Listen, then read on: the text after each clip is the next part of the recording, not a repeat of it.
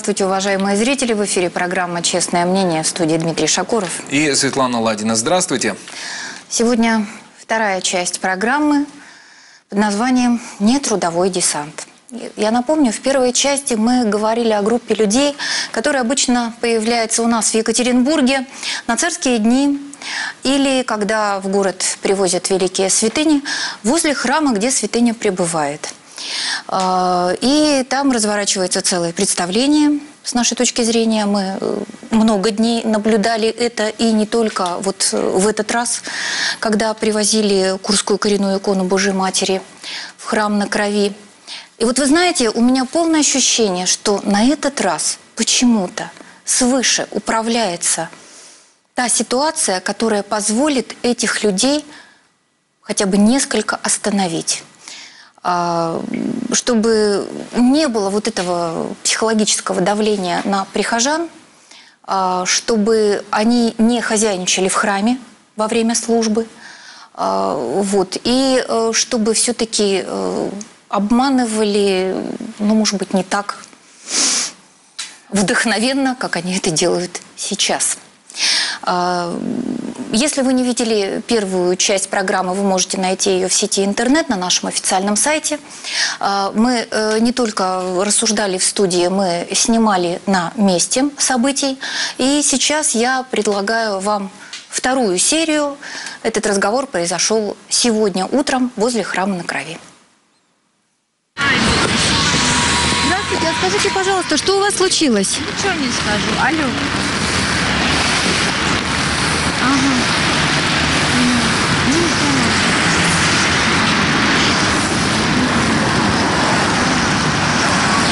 Вас же что-то случилось, если вы даже под дождем стоите здесь и просите помочь. А что, что за документы у вас там, что за фотографии? Я знаю ваши фокусы. Идите себе дома. Ну, вы же стоите возле храма, Ну, просите. я стою, ну и что? Иди. Вы расскажите нам, что у вас такое? Я знаю ваши Может, фокусы. а какие фокусы? Да, иди. Ну ты, Роман. Ну что, очкастая, что смотришь? Чего же вы так себя ведете? Мы же вам ничего плохого не сделали. Так хочу вести себя.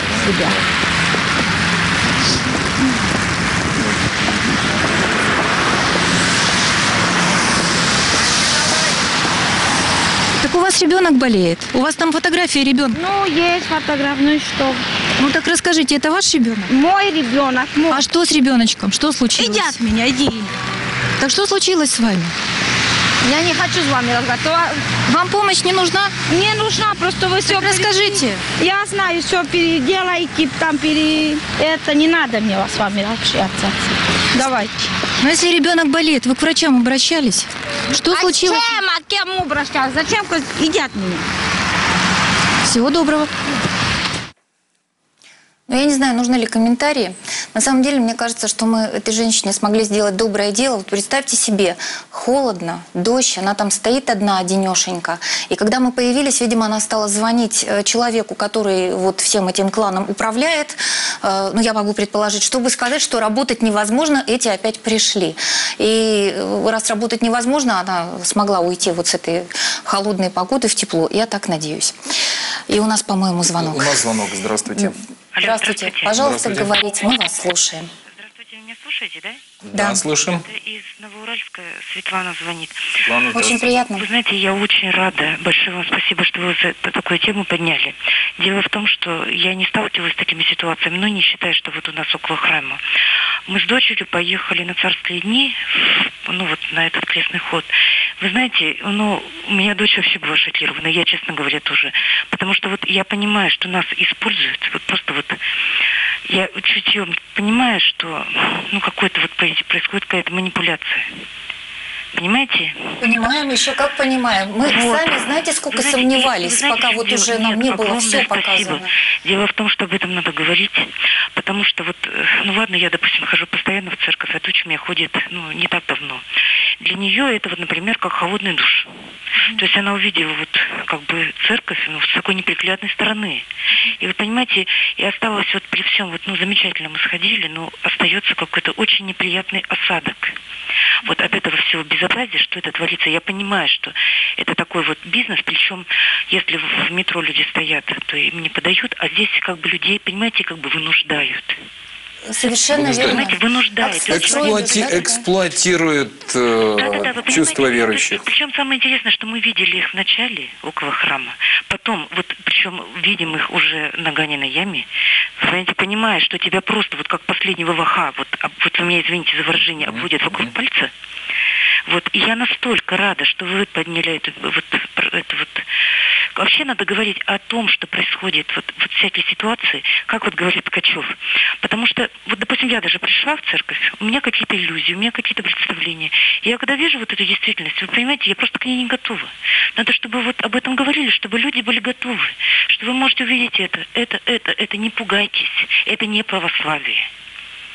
Слава? Богу, огромное вам спасибо за то, что вы позвонили и Светлана. это сказали. Нам очень важна эта поддержка, потому что мы очень боялись браться за эту тему. И если бы мне вот несколько священников, которых я очень уважаю, и в частности мой духовник, который занимается социальным служением, не сказали бы «это надо», вот это надо, то я бы, пожалуй, не взялась, потому что очень боишься греха, боишься осудить, боишься плохо подумать, боишься быть немилосердным.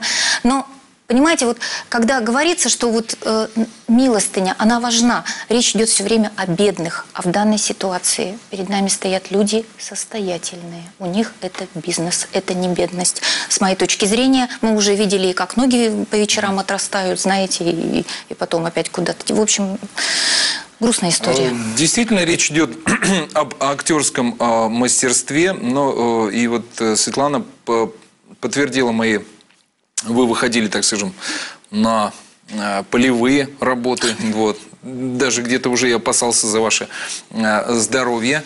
И это не случайно ведь, потому что известно, ну, здесь больше московские издания пишут и санкт-петербургские, где большое скопление людей, много жителей о том, что этот бизнес, он э, весьма, и нравы там весьма жесткие. Если кто-то появляется из э, попрошаек случайных в определенных местах большого дохода, то происходит угроза даже жизни. Но я слышу у нас звонок. Здравствуйте. Здравствуйте. Это с вами говорит Иоанна из Путинбурга, мы теперь его так зовем. Да, здравствуйте. Это в честь дня рождения Владимира Владимировича. В церковь я прихожу, ну, раньше, потому что я как бы э, старенькая, и прихожу раньше и вижу такую картину. Э, К церкви, ну и совсем к церкви подъезжает машина такая большая, э, и из нее выходят эти вот нищие, да, и вот человек расставляет их всех и уезжает себе. Они уже все проконсультированы, все знают. Я бегом к батюшке, говорю, батюшка, ну вот что делать? Они, значит, стоят там, прямо навязываются. Э, А батюшка мне сказал так, ты спроси у него, что он хочет. Если он хочет есть, возьми его, пойди и купи ему там хлеба, колбасы, чего он там пожелает. Но деньги не давай. Ну, я так и по выходе из церкви так и сделала. Подхожу и говорю, что ты есть хочешь, что ты деньги просишь?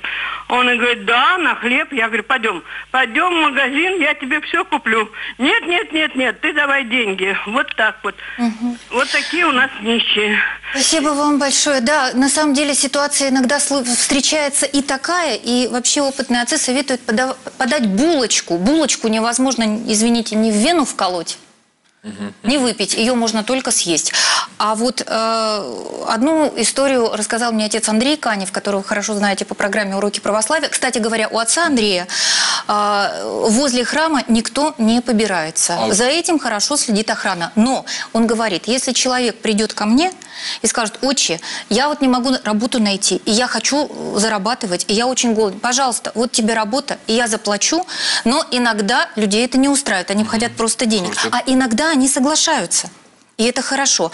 А если человек придет и скажет, я так болен, что работать не могу, он говорит, конечно, я помогу. А еще рассказал такую историю. Батюшка стоял в булочной как-то раз, и подошел к нему мальчишка и попросил денег. Он говорит, на что тебе? Он говорит, мне на хлеб. Он говорит, давай я тебе хлеба куплю. Говорит, да, давайте. Ну, была в подсознании мысль, что нужен ли ему этот хлеб. И говорит, когда купил и подал булку, он говорит, с такой жадностью стал ее есть, что прям вот стыдно стало за эту свою мысль. Но самое главное, что милостынь-то была оказана. У нас звонок. Здравствуйте, пожалуйста, Здравствуйте. говорите, вы в эфире, мы вас слушаем. Алло. Здравствуйте, Алло, слушаем вас. здравствуйте. Это Людмила Александровна из Пензы. Здравствуйте, Людмила Александровна. Вы знаете, в чем дело? Я вот когда начинала, я ходила в православный, потом к протестантам уходила, потом благодаря вашему телеканалу вернулась да, опять в вы православие. И когда вот я раньше подходила к церкви, вы знаете, вот когда просили меня милость, я ей не давала, у меня не было, я не очень обеспечен человек.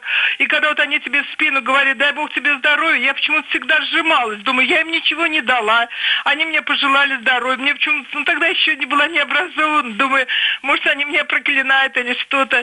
И вы знаете, мое какое мнение? Я вот навсегда запомню эти слова патриарха Кирилла, когда он сказал, что милость в руке человека должна вспотеть.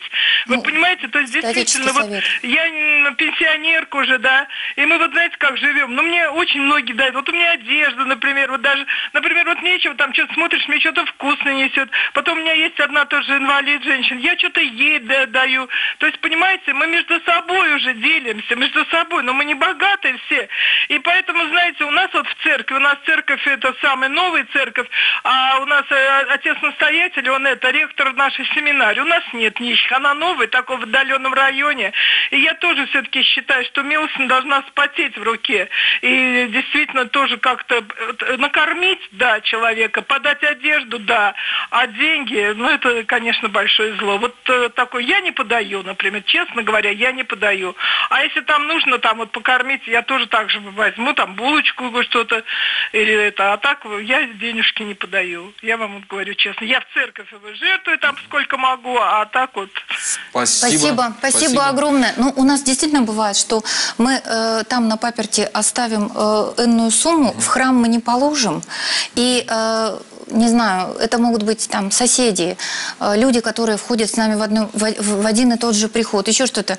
Мы их бед не знаем и, соответственно, не помогаем. А вот э, Ну, здесь Людмила? Александровна действительно бы затронула правильную тему, что э, прежде чем подавать, Нужно лишний раз подумать, да, э, вспотеть рука должна быть. Но и с другой стороны, на год выбери себе э, какой-то план помощи кому-то, выбери конкретно, вот э, Людмила Александровна сказала о соседке, которая регулярно ходит. И тем самым, э, проходя мимо нищего, не зная, действительно нужна ему помощь или нет, и а, мучаясь вот этой мыслью, вы уже твердо знаете, у меня есть сосед, у меня есть тот человек, которому я реально помогаю, может быть инвалид, может быть какой-то ребенок, и вы спокойно будете следовать мимо вот этих э, попрошаек. а можно булочки с собой носить и, и пачечки Но не печенья. всегда видел не раз, как выбрасывается булка, как выбрасывается мелочь, которая положена в руках. Ну, вот все равно, ты всем. дал, ты дал с расположением, а там уже дальше, что они с этим сделали, Ну. вот э, не съели, так не съели. А, У нас давайте, звонок. да, звонок. Здравствуйте, пожалуйста, говорите. Вы в эфире, мы вас слушаем. Алло. Вы знаете, я тоже хотела поучаствовать в этом вопросе, потому Пожалуйста. что меня он тоже очень волнует. Я часто хожу в церковь, и меня волнует, очень нервируют вот эти наглые люди, которые вымогают деньги. У меня брат со снохой ездили в Новотихвинский монастырь, и брат просто стоял, ждал, пока сноха там сходит, у него жена, и сделает э, заказы там, что ей надо. Вот, и наблюдал такую картину. Стоит инвалидка, Значит, ей все подают, она вся там трясется, трясущаяся. Через какое-то время прибегает здоровый мужик, забирает у ней две сумки, ставит ей две пустые и побежал. Ну, естественно, как бы это впечатляет любого нормального человека. То есть основная масса там стоит не тех, кто нуждается, а тех, кто нуждается, они туда не подпускают близко. Поэтому даже если человек нуждается, он не может прийти и просто попросить деньги, потому Вот что это его еще одна проблема, да. пустят, Вы, вот вы понимаете? правы, да, да. Это еще одна Вот. проблема. Их И бьют и не по- пускают, да. Да, и хочется помочь и нуждающимся, но глядя на тех, кто там стоит, а, э, возникает э, сомнение, они на самом деле не нуждаются, это уже не раз доказано. Поэтому я считаю, что вообще нужно их снимать, показывать их лица, чтобы люди знали и видели. И вообще это надо прекратить, это безобразие, что вот такие наглые рожи этим занимались, просто эксплуатировали этих вот инвалидов, бедных там и все такое. Ну как-то надо с этим бороться. Это на самом деле очень большая проблема, и этим нужно заниматься серьезно, а не вот так не раз от разу. Спасибо, спасибо вам большое. Ну вот почему мы говорим, что положить деньги в храм, там, в кружку на благотворительность, которая это э, надежная гарантия того, что они пришли к отцу-настоятелю, те, кто действительно нуждается, он достал, и помог. Вот и все. Разобравшись в ситуации. На самом деле разбираться в ситуации крайне сложно. Вот посмотрите еще раз вчерашнюю программу, и вы поймете, до какой степени эти диалоги вообще изматывающие. Ну, слава богу, у меня полное ощущение, что вся ситуация вот эта управилась свыше. Мы сами ее не искали. Она на нас вышла. Причем, друзья, вот как было показано, как люди себя ведут, а, как они трансформируются после того, как окончили свой так, э, рабочий день. Ну, это специально будешь заказывать и не увидишь. А вот когда оно так происходит, я очень надеюсь, что, может быть, Господь их спасает таким образом, когда мы их немножечко тормозим. Ну и вы нам помогайте тоже, пожалуйста.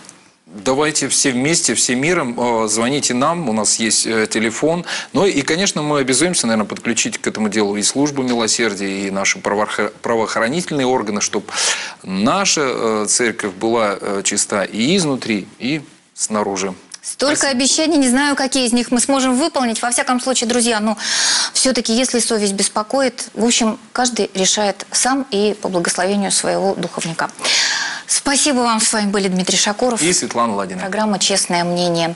У нас не будет программы ни в четверг, ни в пятницу, а вот в понедельник, даст Бог, увидимся.